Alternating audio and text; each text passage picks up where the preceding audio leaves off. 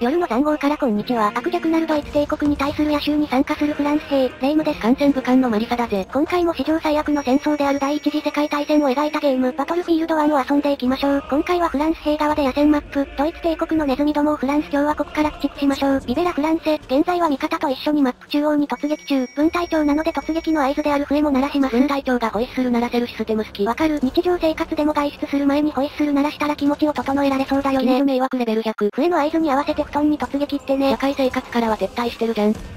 何も言い返せねえわ。チクチク言葉はダメって学校で教わらなかった。常識ってチクチク言葉なのか。可愛マリサの言葉すべてトゲが基本装備だ。なんとか陣地占領できたけどドイツ軍の圧がすごいよ。撃兵が突撃してきたな。1キルいただき、さらに土壇場で投げたリムペット爆弾。つまり時間式爆弾がキルを持ってきてくれたね。ひとまず機関銃兵できたので、瓦礫の上に設置して今占領した D の防衛に努めるよ。味方はほとんど全滅してるな。それがなんだ、フランスの得意技は白旗だけじゃないってところを見せてや。死んだら同じ戦場に転生しました。世界転生ガチャ大爆死。転生先が一次大戦っていうのもそう悪くないよ。絶対に最悪だよ。3600万人しか死傷してないし。その情報にポジティブな要素はない。先ほど防衛に当たっていた D ポイントはすでに敵の支柱になったので、そこから移動を開始する敵を側面から攻撃するよ。霧がカモフラージュしてくれてるな。ホックで前進開始、左で発砲を確認。とまず1キルだな。もうすごい、すごい反撃受けてる。感銃は兵士の大敵なので、こういう時は冷静に撤退するのがちょっとその勝利グレネード。闇落ちドラえもん同じ戦場に転生しました。かぶりがあるタイプの異世界ガチャ。こんなんじゃ共和国魂は壊れないよ。しっかり笛を鳴らして突撃開始。ちなみにさっきちょっと説明したけど、今回は援護兵で来ていて、武器は MG14 という機関銃だよ。リコイル制御が難しいが、毎分700発の連射射撃は一瞬で敵兵を粉々にできるぜ。安定して射撃できるように伏せ撃ちを利用していくよ。兵士がどんどん移動するマップなので、私はあえて機関銃で陣地防衛を心がけていきます。ではまず自陣である C ポイントに吸収するドイツ兵を迎撃していきます。霧の中に動く敵兵が見えるな。射撃開始、よしよし一人排除。除、霧のおかげで敵スナイパーの反撃はまだないと思うから、射撃を継続していきます。貴様も野賀さん、よしキル確認、敵の反撃が始まったので早期撤退。どうでもいいけどこのマップの月光と霧の感じめっちゃ綺麗です。映画みたいなグラフィックだよな。よしリロード完了。機関銃兵は目立ちやすいので常に射撃地点を移動させるのが長生きのコツだよ。うーんと、C 拠点への攻撃はまだ続いているみたいだね。引き続き側面に対する攻撃が重要となるな。よし一人持っていった。あともう一人ぐらいは倒せるはず。よし見えた。2キル目ゲット。おっと敵に位置がバレちゃったかな。それでは陣地移動開始。ちなみに雪が残る寒そうなマップだけど、一次大戦では残壕の中で動けないために足が凍傷になることが多かったらしいよ。いわゆる残壕足ってやつだな。あと服に油を塗っておくと敵の弾が当たりにくかったらしいね。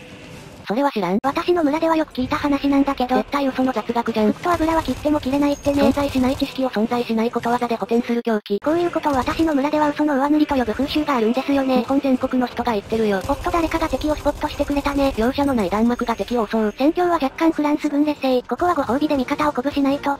この戦い終わったら今日のご飯帰るらしいよ。めちゃくちゃステレオタイプじゃん。陣地に帰ったらお腹いっぱい食べてね。別にフランス人ってカエルが主食じゃないからね。マジか一人当たり1キロ分のカエル準備しちゃった。想像を絶する大先輩。カエルたちは必要なくなったみたいなのでひとまず森に逃がしておきます。生態系壊れる。よしリロードして転身。引き続き C ポイントに対して圧力をかけていきます。奥にマズルフラッシュを確認。しっかりと照準を合わせて射撃。背後から敵の足音が。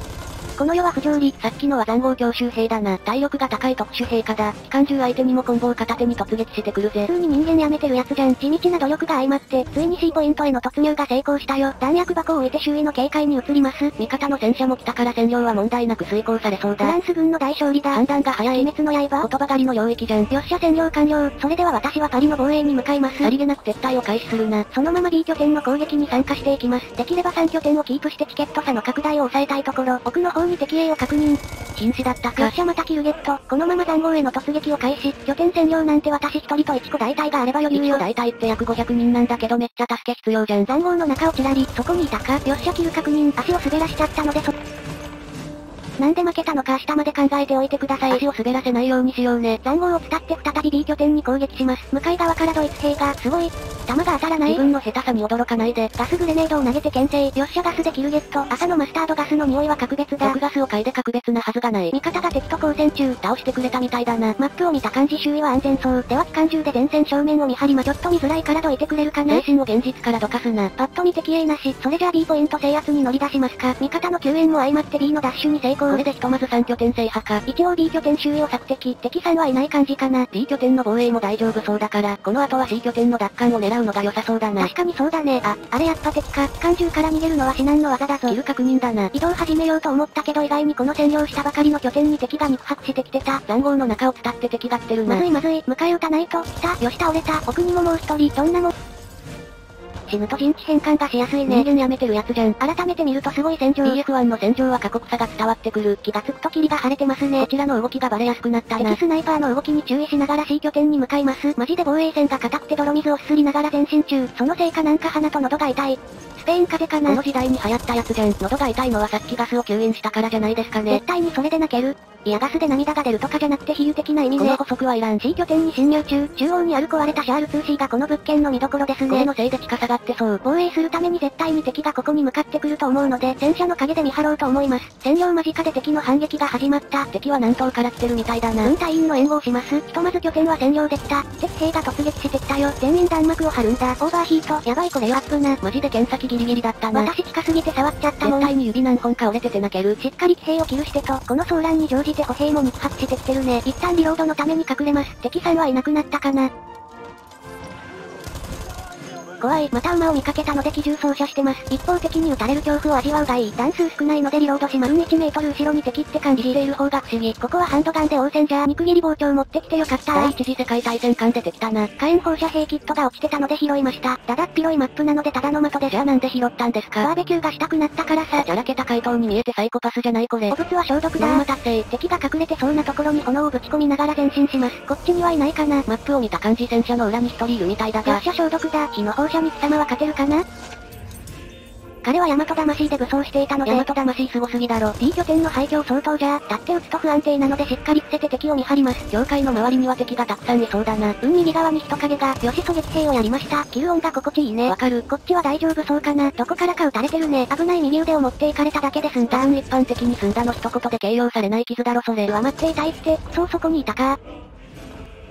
闇落ちドラ談合戦で戦えばドラえもんもあんな目になるさ。それにしてはだいぶ優しい目だった。また B 拠点にドイツのネズミが来てるな。談合での戦いは上が圧倒的有利。機関銃で撃ち下ろしてやろう。まずは一人だな。奥にもう二人。最後の一人は味方が始末してくれたね。この MG14 の圧倒的弾幕がたまらない。わかる。弾幕で敵を蹂躙するのが好きすぎて私なんて背中に弾幕って文字の入れずに入れたもん。ここはそのまま談合内のドイツ兵の相当開始。偵察兵が一人見えた。よしキル確認。一応角もクリアリング。敵影なしだな。それでは D 拠点ダッシュに向かいます。おそらくここら辺に敵がいるはず。ドイツ兵は交代してるみたいだな。これは好都合。あそこの兵士もしっかり倒してと。ダブルキルだな。進軍する前に今一度敵がいないか確認。また一人交代する兵士が見えるな。よっしゃキルゲット。これで D ポイントまでの道が開けたはず。一応無事に故郷に帰れるお守りも作ってと。そんなお守りあるの？作り方は簡単。40センチぐらいの大きさで白い布を切り分けておくだけ。何を作るのかなって思ってたら白旗だった。これ結構効果あるらしいよ。効果に関しては国際法で認められてますので。マリサの分の白旗も作ったからあげるね。私感染武漢で捕虜にならないから別にいらないで。国際法マスターじゃん。煙幕に乗じて D に攻撃開始。ひとまず交代する敵兵をします。凄まじい砲撃が飛んできてるよ。一旦伏せて回避。マップに敵がスポットされてるの。待ってお隣さんじゃん。私ご近所付き合い苦手だからごめんね。近所付き合いの回避方法が物理。D 拠点まであともう少し。見張っている敵がいないか確認します。味方がスポットしてくれてるな。ありがたすぎる。あそこの敵兵は倒せないかなってなになに味方が照明弾を撃ってくれたみたいだ。こっちが明るくなってる。突撃の笛を鳴らして私も切り込みます。フランス共和国のために明るいおかげで D ポイントの状況が見やすいけど、どうやら前面に敵はいないみたい。今のうちに肉薄できるな。こういうロマンあるマップギミックがあるところも大好き。バトルフィールド1が好きすぎる女。拠点内の敵はしっかり排除してと、こっちにも敵がいそう。よし始末完了。拠点内の敵は全滅したみたいだな。よっしゃこのまま占領しちゃおう。マップを見た感じ東側に敵が集中してるみたい。なのでそっちに機関銃を設置して敵の援軍を迎撃します。なんかキャンプファイヤーを思い出して和みますね。最初の残骸で燃える日で。想像力が世界を救うのだよ。あと機関銃も世界を救える。世界平和歌ってるくせに射撃に躊躇がなさすぎる。私が考える平和世界に敵はいないので。平和を求めすぎて悪役になっちゃったやつ。ありがたいことにこれだけの味方さんが来てくれました。の占領は盤石だな。それではデスゲームを開始します。なんで？大人数が集まった時にやることなんてデスゲームぐらいでしょ。他に100万とあるわ。参加したくない人は参加しなくても OK です。自主参加形式のデスゲーム誰が参加すんの？参加者は誰一人来ませんでした。知ってた？ゲームの内容は幸せに長生きすることですって言おうと思ってたのに。卒業式後の先生のセリフじゃん。いい拠点側から敵が来てそうなんだよね。とりあえずお墓の周囲を警戒してみ。真っ黒黒助見つけた。真っ黒黒助撃たないで。敵のスポットフレア。今一瞬人影が見えた。やっぱりそこか。よっしゃキルゲット。敵のスポットフレアがあるせいで動きにくいけど、敵を待ち伏せするには向いてるポイントかも。とりあえず D に防衛命令を出しておこう。また敵兵が肉薄してきてるな。しっかりと排除します。よしキルゲット。お墓のそばで倒せば死体処理も簡単で SDGs じゃね可能な開発目標にそんなものはない。少なくともエコだよね。本当にそうかまあレイムもここで死んだら味方にとっても死体処理は楽かもな。それはそれであり死生観がすごい。お墓で戦闘ドクトリン結構うまくいってます。だけじゃ隠しきれない物騒さ。右方向に敵影を確認。こっちのドイツ帝国兵もしっかり排除していきます。B の状況がだいぶヤバそうだったので救援に行きます。もうすぐ着くから今しばらく耐えてくれ。行けたら行くから。絶対来ないパターンじゃん。攻撃実行中の敵部隊の背後を取れたので無慈悲な射撃開始。を削れてる感じはある。ちょっとダメージが入ったので物陰に撤退。基本的に痛みは根性で乗り越えられると私はディズニーで学んだんだ。根性論で乗り切るディズニー映画嫌すぎるだろ。よっしゃキルゲット。痛みが私を強くする。今思えば死んだのもいい体験だったかも。思い出補正で死を乗り越えるやつ。味方さんが再び照明弾を撃ってくれたので、笛を鳴らしてもう一度突撃したところで試合終了。フランス共和国軍が転身することになりました。大日本帝国の上等区じゃん。素晴らしきカイザーのお膝元になれたところで今日はここまで。早速服従してて笑う。成績は49キル12デスで1位でした。まあまあ良さげだな。ハイライトでは私が拠点防衛回数1位でした。これは普通に嬉しいやつ。ではまた次回で過酷な一次対戦の戦場でお会いしましょう。ご視聴ありがとうございました。